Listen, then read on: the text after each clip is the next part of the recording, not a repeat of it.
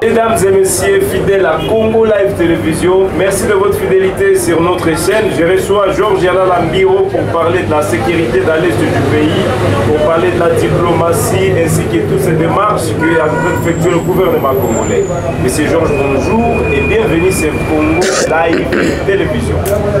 Oui, bonjour Monsieur David, bonjour tout le monde, bonjour tous les Congolais, surtout bonjour les amis de Kisangani.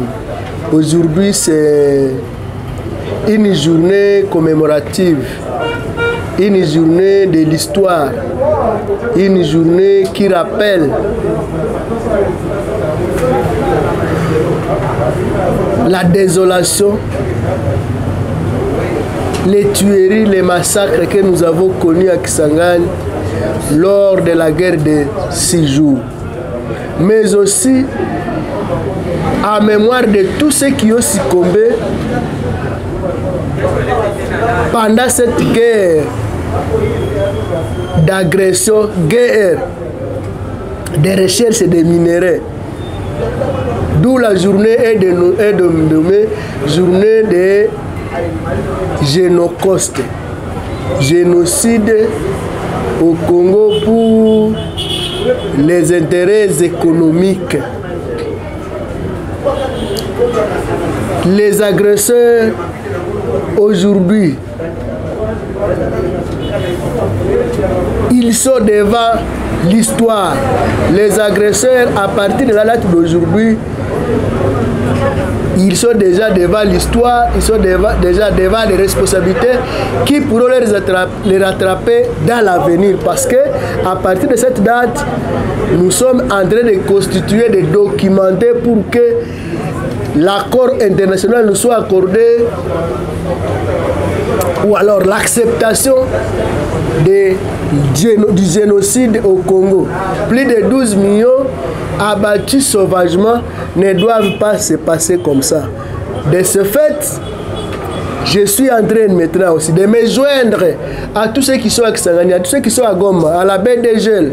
Je sais très bien qu'il y a une grande cérémonie. Aujourd'hui, nous avons même organisé une journée encore spéciale qui venait s'ajouter sur celle qu'on avait organisée le mois passé, où on était parti enterrer les 35 corps abattus dans le cas de Mugunga. Aujourd'hui, nous sommes partis aussi enterrer d'autres qui s'en ont suivis, tels que ceux-là qui ont été abattus sauvagement à Bweremana. Ils sont enterrés aussi aujourd'hui dans le même lieu, cimetière de Génocoste à Kibati, dans le territoire de Niragongo, à côté de la ville de Goma. Nous disons pour toutes les familles qui ont été victimes de cette barbarie, de cette sauvagerie, de, ce, de cette criminalité agressive, je dis, je, vais, je suis en train de me rendre à toutes ces familles et je, les, je les dis, je leur adresse, je leur adresse, et je répète, je leur adresse.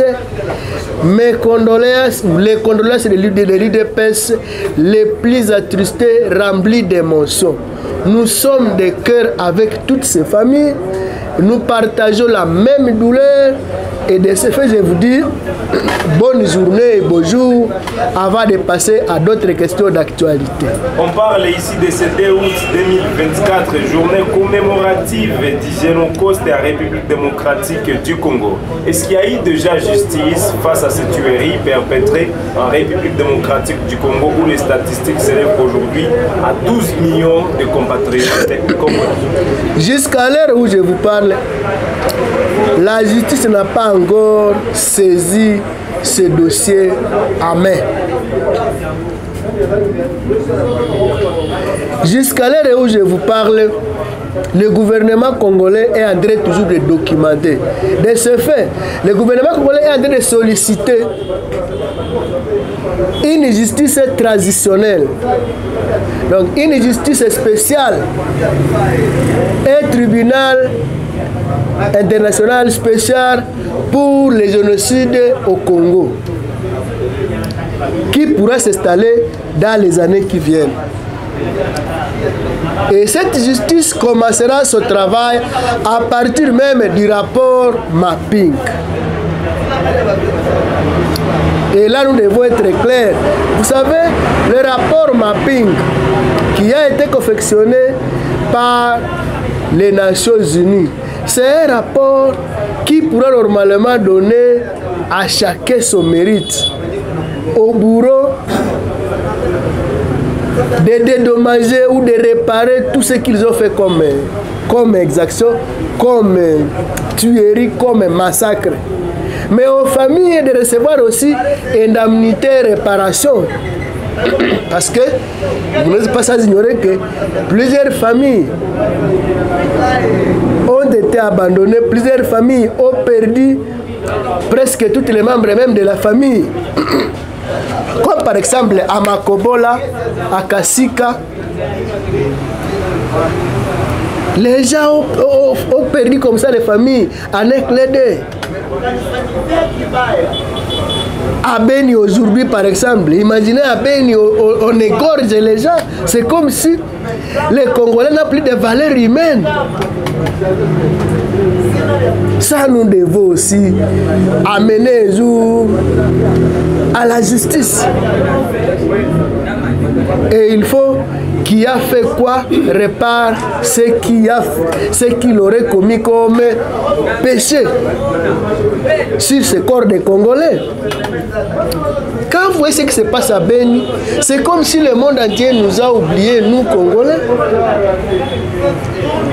Quand vous voyez ce qui s'est passé à Kishiche ici, à Kazaro, à Tongo, c'est comme si les M23 avaient le privilège de marcher sur les têtes des Congolais. Si vous voyez ce qui s'est passé à Mugunga avec les bombes qu'on largue dans des cas de déplacés, c'est comme si il y a d'autres personnes dans ce monde qui ont le monopole de tuer les Congolais. Dernièrement Boueremana, des mamans, des, des vieillards qui n'ont même pas de rapport avec votre guerre, mais vous les venez les tuer comme ça, leur donner la vie comme ça. De ce fait, nous voulons que justice soit faite. Et surtout, pourquoi seulement pour le Rwanda, 2, 3, 4 jours, on a tué seulement 800 000, personnes, mais au Congo, 12 millions d'habitants, mais au, Rwanda, on a réellement accepté, instauré le tribunal de. Oui, mais pourquoi pas maintenant pour le Congo? Nous devons réclamer ce droit. Et c'est notre, la diplomatie droit. congolaise qui n'a pas encore pesé pour imposer ça. En fait, nous sommes déjà à droit. Vous savez, aujourd'hui, nous avons déjà décrété cette journée. Vous savez, la journée comme celle d'aujourd'hui, le 2 août, était réservée à l'anniversaire du RCD. Mais nous, le 2 août, c'est la journée commémorative du Génocoste. Vous comprenez? Alors, quelqu'un du RCD, Azarias, que je salue à passant, il doit déjà prendre ses dispositions pour répondre de ses actes. Il n'est pas le seul. Avec tous ses acolytes, Kagame, il est dans les rapports mapping, même Museveni, il y a plusieurs autorités qui sont dans les rapports mapping les gens qu'on abat. Quand vous arrivez à Beni, c'est comme si les gens se sont organisés pour tuer les gens, les innocents comme ça. Et maintenant, vous voulez que nous, on se taise. Non, non. On ne peut pas se taire. Malgré ces démarches que le gouvernement congolais est en train de mener aujourd'hui pour que cela soit au moins reconnu à la façade internationale, pourquoi la communauté internationale n'arrive toujours pas à accepter cela? Non, la communauté internationale, il y en a parmi certaines puissances membres de la communauté internationale qui sont ou qui ont été derrière ces histoires. C'est pourquoi les uns se taisent, les autres, aussi parle. Et maintenant, toute la communauté internationale finira par accepter que réellement au Congo, il y a eu génocide. Avec le pouvoir aujourd'hui, avec la manière de faire de Tshisekedi, vous voyez là, là, où nous allons. Avec Kabila, on ne connaissait même pas ce que signifiait, qu'est-ce que, que signifiait génocide. Avec Kabila, on ne savait même pas qu'il y avait un certain le 2, le 2 août. Mais aujourd'hui, vous comprenez qu'il y a certaines innovations qui tendent vers la réclamation des réparations et indemnités. de toutes ces personnes qui ont succombé par ces barbaries, toutes ces barbaries inutiles. Et là, c'est là que nous allons. Et d'ailleurs, aujourd'hui, tout le monde maintenant commence à comprendre. Ah, c'est-à-dire, il y a maintenant, un père des Congolais qui commence à réclamer les sang des Congolais. Jusqu'à présent, il y a des personnes qu'on continue à tuer au-delà de Beni, un peu partout en République démocratique du Congo. En Ituri. En Ituri, surtout dans l'Est de la République? Qu'est-ce qu'il faut faire aujourd'hui exactement pour mettre fin à cette tuer En fait, il faut d'abord. Il faut d'abord faire, il faut beaucoup travailler pour que la guerre cesse. Vous savez, les gens profitent toujours de cette guerre. Vous voyez par exemple aujourd'hui, quand qu'elle s'est déjà investi pour que la guerre prenne fin, avec ces, ces nouveaux cessez-le-feu, j'ai suivi les Rwandais aujourd'hui. Il y a eu des affrontements. Les oui. ont récupéré trois villages. Non, les M3 ont violé. Je sais vers Luchuru. Ils se sont affrontés aux, Azalendu. Mais au moins, les Rwandais ont commencé déjà à accepter qu'il va finir avec cette barbarie, avec cette agression à partir de Luanda. Et nous allons vers la fin de cette guerre. Après que la guerre va prendre effet, il y a d'autres histoires qui vont commencer maintenant à, à s'amorcer. Surtout la page de la page de la justice.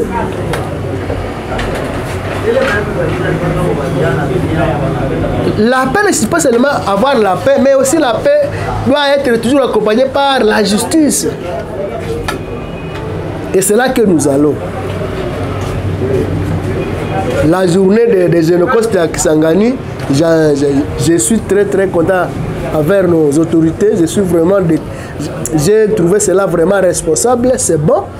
Même ce qui se passe à Goma, à la Gel, c'est très bien. Ça commence déjà à, bien rayonner. L'année prochaine, ça sera autre chose. Et peut-être que après deux ans, on aura déjà commencé avec la justice traditionnelle. Et tous ces gens-là qui nous ont tués gratuitement, ils auront leur part. On parle ici de ce processus de Luanda. Comme vous l'aviez souligné, l'AFC de Corneille Nanga et l'AFC M23 tient à souligner qu'il n'est pas automatiquement lié par la conclusion ou les conclusions des réunions auxquelles il n'a pas été convié. L'AFC, l'M23, constate que les forces de la coalition de gouvernement de Kinshasa ont pris l'habitude d'utiliser les différentes trêves et cessations des hostilités pour se réorganiser et continuer l'épiration ethnique. Leur attaque contre le peuple martyrisé et ces défenseurs que nous sommes, qu'ils sont. Peuple martyrisé et défenseurs qu'ils sont. Ça, c'est une déclaration de l'AFC de Corneille Nanga. Ils, ils sont défenseurs de qui? Peuple martyrisé et défenseurs.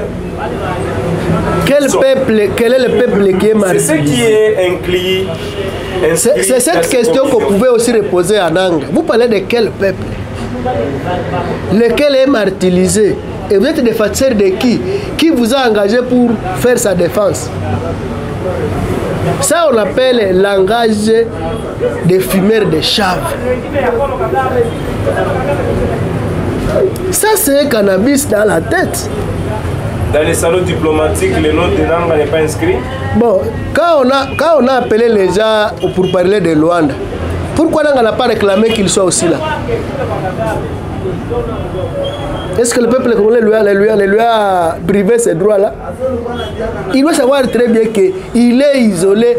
L'aventure qu'il est en train de mener va lui, va lui amener jusque dans, presque même dans la tombe ou à prison. C'est une mauvaise aventure, c'est une aventure inutile. Et qu'il aurait appelé de chez lui, de, de Haute-Ouélé, vers Ruchuru. Il est en train de crier dans le désert. Il est ivre. Il est fumeur du champ. Il ne connaît même pas de quoi, de quoi, il, doit, de quoi il, il, il, il est appelé à faire dans ce Mais pays. Plusieurs personnes font savoir qu'il est frustré par le régime actuel de Tshisekedi. Frustration. Bon, je ne sais pas. Il est énervé contre qui? Il est énervé pourquoi S'il s'agit de la frustration, il est énervé contre qui Et pourquoi Nanga s'est perdu des chemins. Moi, j'ai suivi quelqu'un de Bunagana dire que d'ailleurs Makenga lui dit qu'il est prêt à arrêter Nanga et à l'expulser vers Kinshasa. Vous voyez déjà Ça ne va pas entrer. ça ne, va, ça ne va plus entrer. À Bunagana, c'est comme s'il y a le bureau de Nanga et le bureau de Makenga qui ne convergent pas. Il s'est invité à une fête dont il ne connaît même pas l'organisateur. Hein? Non, Nanga, Nanga a perdu des chemins. Est-ce qu'il connaît d'abord Kagame? Est-ce qu'il connaît de où Kagame est né? Pour qu'il quitte les hauts et venir rejoindre Nanga, vous êtes, vous êtes quoi, vraiment, vous êtes fou. Alors, on va finir par euh, ces sanctions de l'Union européenne contre Dominique Gamanzi et Gilles Moulumba. Ils ont été sanctionnés, les deux leaders de Ouazalendo, aujourd'hui sanctionnés par euh, l'Union européenne. Moi, à ce qui concerne les, les- sanctions de l'Union européenne, je prends cela pour une blague, une vaste blague. Même si on condamnait peut-être Makenga ou Bitakwira, qu'est-ce que cela a déjà fait de- de- d'effets palpables sur la vie de Bitakwira par exemple ou sur la vie de, Javier Karaïr parce que lui aussi a été sanctionné un jour ou sur la vie de, de, Gilles Moulumba c'est, du n'importe quoi c'est du tralala. Les Européens ne savent plus euh, de quelle manière faire leur politique. Au lieu de seulement à, à à Makenga, à Kagame, à Museveni, de retirer leur, leur, de faire la paix. Gilles Moulumba ne va plus exister, je pense. Si à Rutshuru il y avait la paix, Gilles Moulumba va faire son choix. S'il y avait la paix, moi, Georges, je ne vais peut-être plus beaucoup parler comme ça. Et surtout que chez eux, ils ne veulent même pas que chez eux, il y ait la guerre. Est-ce que la France, l'Union européenne peut accepter que dans les réunions, il y ait- une guerre C'est du n'importe quoi. Ça, c'est inutile. Moi, j'appelle cela une vaste blague. Pensez-vous cette fois-ci que Kagame est prêt à déposer les armes Kagame est contré.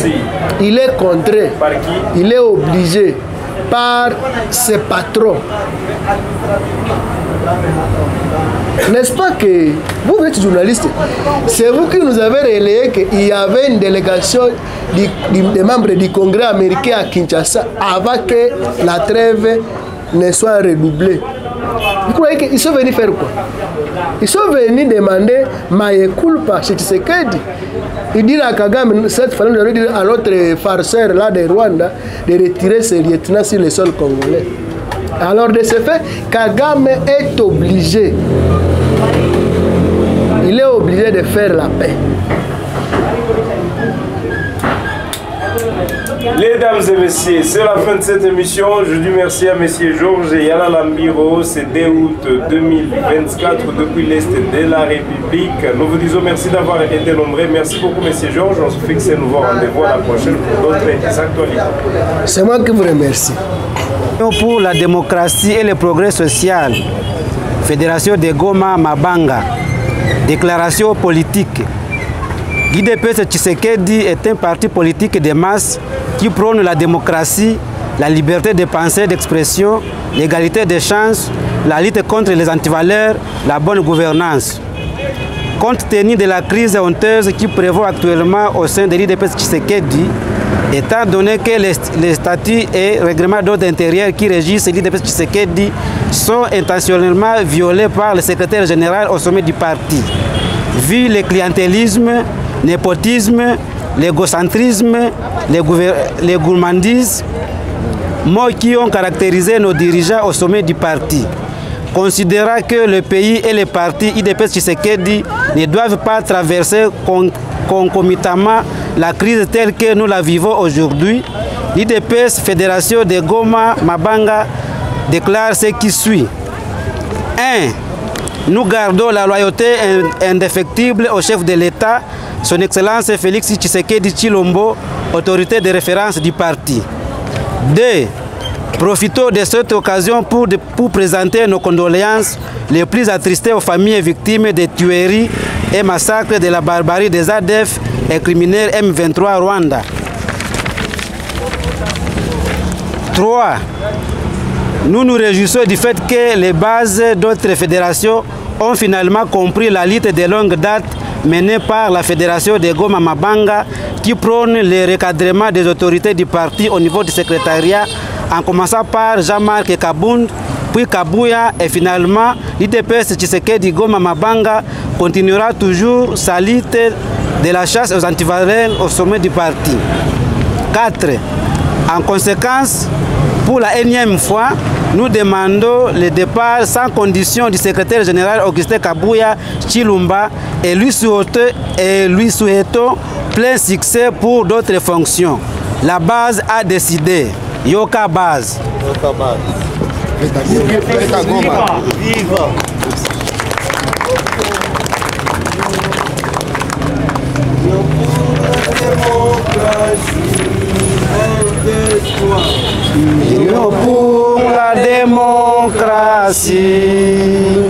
Et le progrès social. Notre parti du peuple, parti de la majorité. Union pour la démocratie et le progrès social. Notre parti du peuple parti de la majorité. IDPS, IDPS, IDPS, IDPS,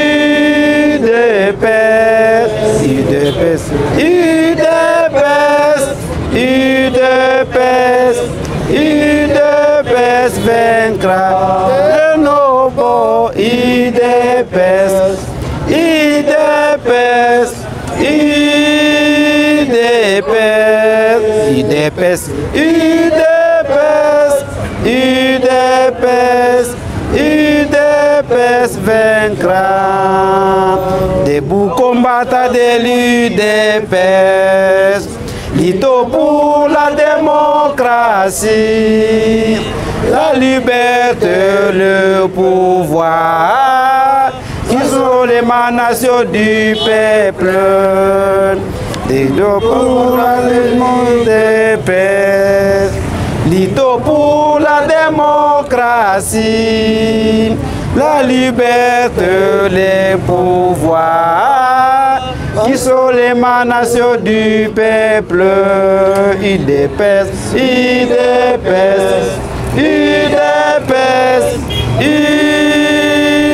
IDPS, IDPS, IDPS, IDPS, IDPS vaincra de nouveau. IDPS, IDPS, IDPS, IDPS, IDPS, IDPS, IDPS vaincra. IDPS viva! Viva! IDPS viva! Viva, viva, Viva! Félix Tshisekedi, héros national! Félix Tshisekedi, président de la République!